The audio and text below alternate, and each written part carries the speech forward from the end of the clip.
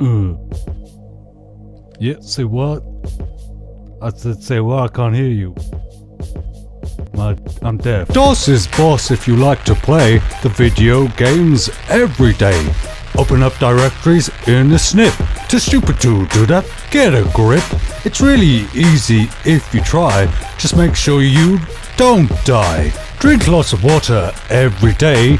Eat three square meals to keep death at bay. I'm not telling you how to live your life, solve your problems with your wife, just giving you some friendly advice. Look at this sweet landscape I made in Bryce. Bryce is really good for making landscapes and things like that, but not so much for 3D animation. For that, I use a program like Maya. Duke Nukem always seemed like the man to beat, the way he used to kick those people with his feet, but I don't condone his use of violence. I'd rather stare people down in abject silence. That might make me sound like a pacifist, some kind of strange peaceful strategist, but nothing could be further from the truth. Just ask Tex Murphy the super sleuth. He'll tell you all about the times I've used a gun to find some sick, pleasurable fun. But don't let that put you off my friendly demeanor. I'll still give you a race in the video game Screamer. If I'm feeling extra nice, I might let you win. But if you lose, don't moan on me, just take it on the chin. You've got to take losing better than that.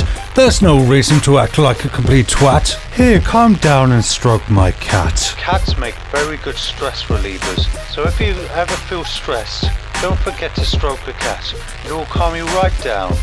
Brilliant. Now I don't know what game to tackle next. This quandary is leaving me quite perplexed. Maybe I should just take a little break. Tea break.